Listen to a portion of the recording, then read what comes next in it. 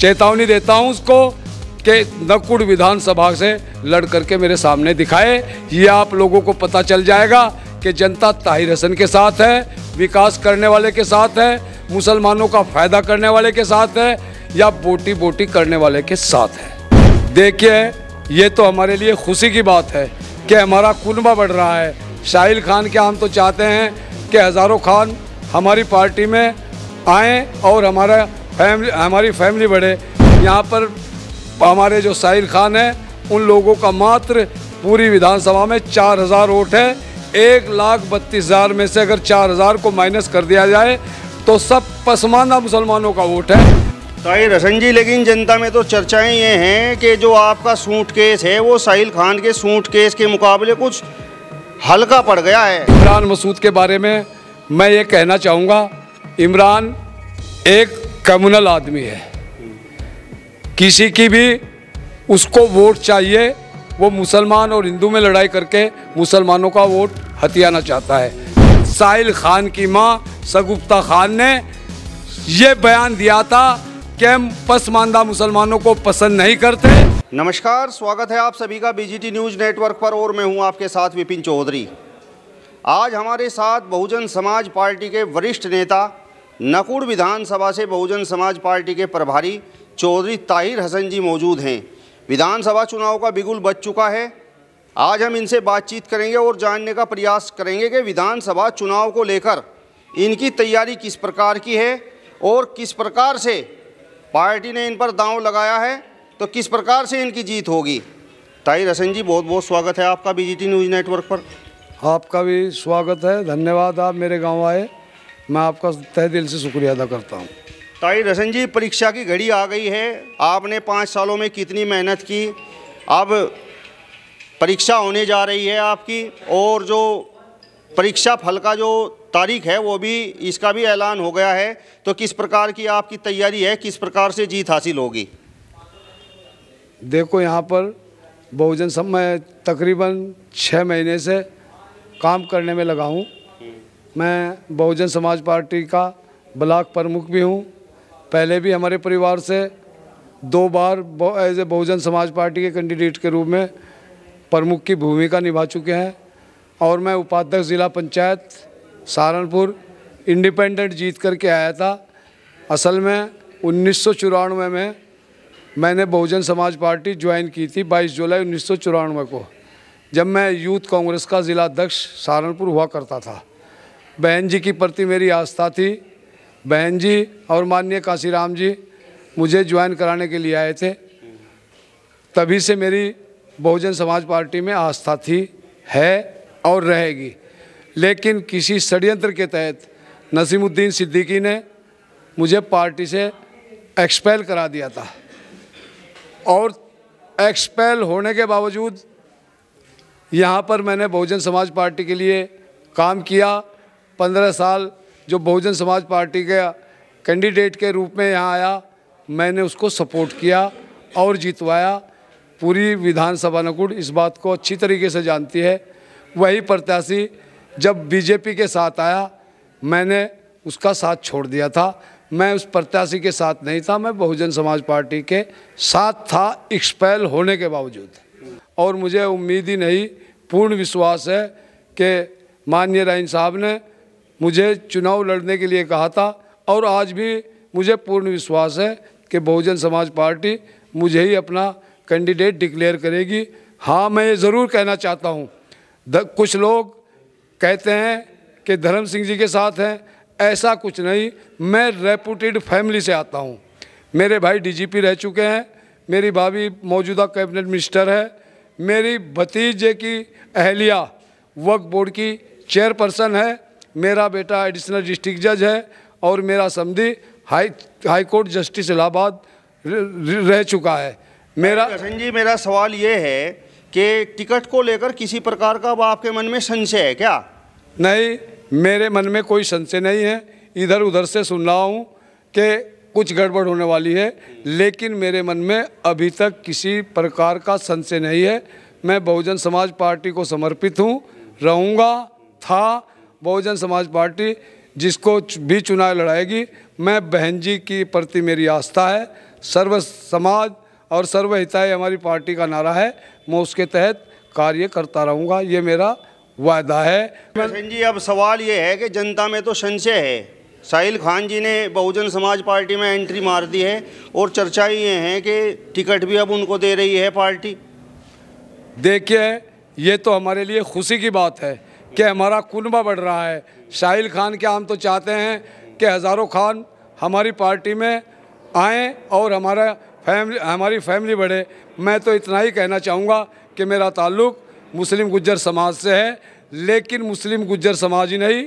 यहाँ पर गाड़ा तेली, अंसारी, जितने पसमानदा मुसलमान हैं, जितने भी पसमानदा मुसलमान हैं, वो आज सब मेरे साथ खड़े हैं और मुझे उम्मीद ही नहीं पूर्ण विश्वास है, बहुजन समाज पार्टी का नारा है, सर्वजन हिताय सर्वजन सुखाय और जिसकी जितनी संख्या भारी, उसकी उतनी हिस्सेदारी यहाँ पर हमारे जो साहिल खान हैं, उन लोगों का मात्र पूरी विधानसभा में चार हज़ार वोट है।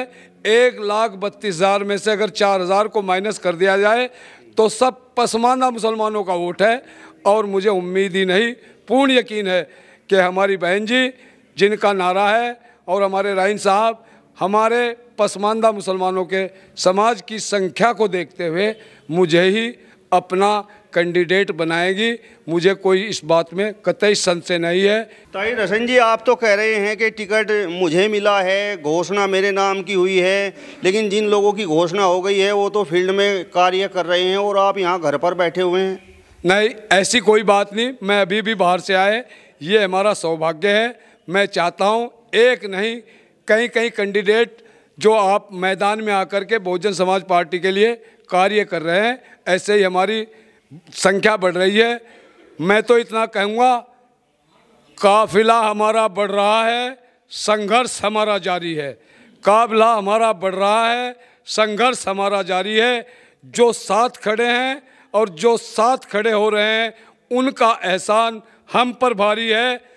जो साथ खड़े हैं और साथ खड़े हो रहे हैं उनका एहसान हम पर भारी है। दो गुना करके देंगे दो गुना करके देंगे उनके पसीने की कीमत उनके मान उनके सम्मान और विकास की ज़िम्मेदारी हमारी है। ताहिर हसन जी लेकिन जनता में तो चर्चाएँ ये हैं कि जो आपका सूट केस है वो साहिल खान के सूट केस के मुकाबले कुछ हल्का पड़ गया है। मेरे पास न सूट केस था, न सूट केस है। मैं किसान फैमिली से ताल्लुक़ रखता हूँ। साहिल खान के सूट केस के बारे में जनता जानती होगी। मुझे कुछ पता नहीं है। मैं तो किसान हूँ। एक अन्नदाता हूँ। अपनी रोज़ी रोटी खुद कमाता हूँ। उद खाता हूँ। मुझे ऐसे लोगों से कोई सर्वोपरि नहीं है कि किसके पास क्या है, क्या नहीं है। ये जनता जानती होगी। ताहिर ने कभी ना ऐसा कहा है। और ना कहेगा, मेरी पार्टी ने मुझे फ्री में ही निस्वार्थ यहाँ का कैंडिडेट बनाया है और अभी तक मैं कैंडिडेट हूँ, क्योंकि डिक्लेयर किसी का यहाँ नहीं हुआ, मेरा ही टिकट यहाँ पर डिक्लेयर्ड है। ताहिर हसन जी, अब सवाल ये है कि इमरान मसूद यहाँ से समाजवादी पार्टी में शामिल हुए। उसके बाद चर्चाएँ शुरू हुई कि वो बहुजन समाज पार्टी में जाने वाले हैं। आप भी मुस्लिम समाज के एक बड़े नेता हैं। इमरान मसूद भी बहुत बड़े चेहरे हैं मुस्लिम समाज के। तो अब सवाल ये है कि बसपा में उनकी कुछ बात बन नहीं पाई क्या? जो समाजवादी पार्टी में ही दोबारा फिर टिक गए। देखो, इमरान मसूद के बारे में मैं ये कहना चाहूँगा, इमरान एक कम्युनल आदमी है। किसी की भी उसको वोट चाहिए, वो मुसलमान और हिंदू में लड़ाई करके मुसलमानों का वोट हथियाना चाहता है। मैं ऐसा नहीं हूँ, मैं एक सेकुलर आदमी हूँ और अपनी सेकुलरता के ज़रिए मैंने उसको दिखाया है।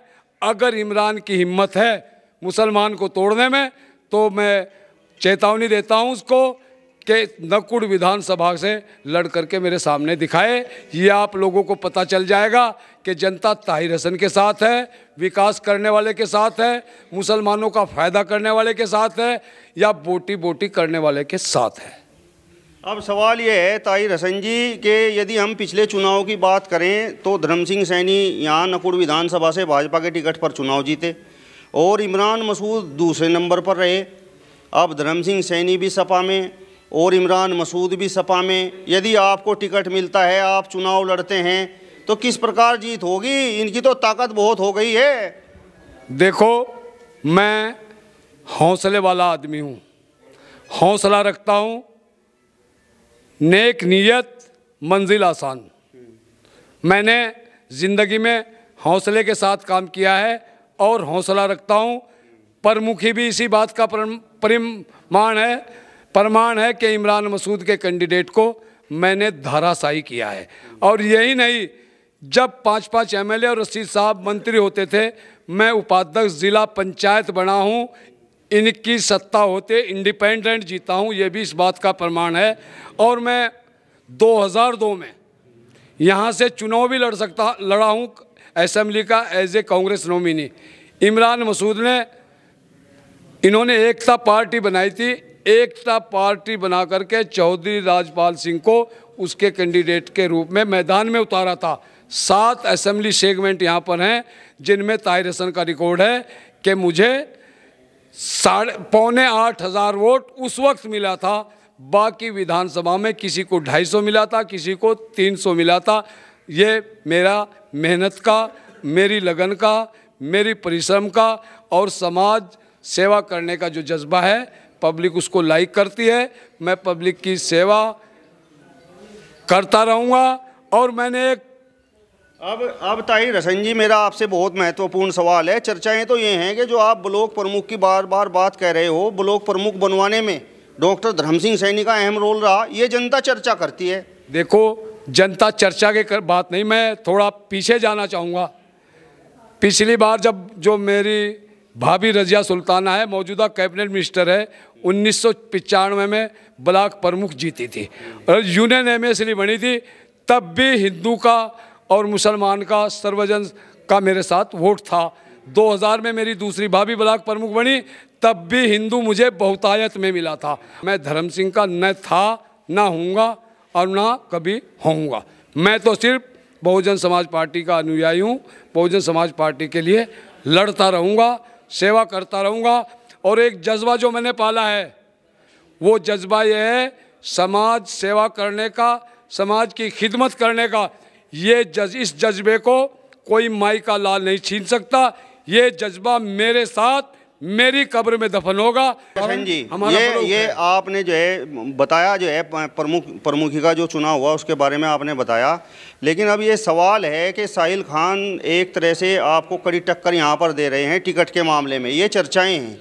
और साहिल खान के बारे में तो ये कहा जा रहा है कि वो जनता की लगातार सेवा कर रहे हैं चाहे वो कोरोना काल रहा हो अब सर्दियों का मौसम हो चाहे कंबल वितरण का हो राशन वितरण का हो वो पूरी जनता की सेवा कर रहे हैं। तो जनता उन्हें पसंद क्यों नहीं करेगी और आपको पसंद क्यों करेगी? मैं इसके बारे में बताना चाहता हूँ। 2012 में जब चौधरी नाई हसन चुनाव लड़े थे, बहुजन समाज पार्टी ने उनको टिकट दिया था, लेकिन बहुजन समाज पार्टी ने उनका टिकट नाई हसन की गलती थी, उसकी वजह से काट दिया था। लेकिन मुस्लिम गुज, और साहिल खान की माँ सगुप्ता खान को टिकट दिया गया था जग ज़ाहिर है कि साहिल खान साहिल खान की माँ सगुप्ता खान की ज़मानत, तब ये नकुड़ विधानसभा, जो हाल की गंगो विधानसभा है, नकुड़ विधानसभा हुआ करती थी, उसकी ज़मानत जब्त हो गई थी। और दूसरे 2019 में जब सपा, आरएलडी और बसपा से मिल के तबस्सुम यहाँ से चुनाव लड़ रही थी, सबसे पहले साहिल खान की माँ सगुप्ता खान ने ये बयान दिया था कि हम पसमानदा मुसलमानों को पसंद नहीं करते। हम सगुप्ता खान के खिलाफ जा कर के भारतीय जनता पार्टी को जिताने का काम करेंगे। यह है साहिल खान के ख़ानदान की असलियत, उसकी माँ के बयान। और ये जो अब से पहले कहे, कहा कहता था कि मैं अखिलेश जी के लिए लड़ाई लड़ता हूँ और अखिलेश जी के लिए गला कटवाता हूँ, ये वो साहिल खान है। मैं नहीं जानता कि जनता उसको क्या चाहेगी, क्या नहीं चाहेगी। लेकिन मैं तो अपने बारे में कह सकता हूँ, माननीय बहन जी और माननीय राइन साहब, अगर उसको कैंडिडेट उतारेंगे तो मैं उसके साथ रहूँगा, ये मेरा वायदा है।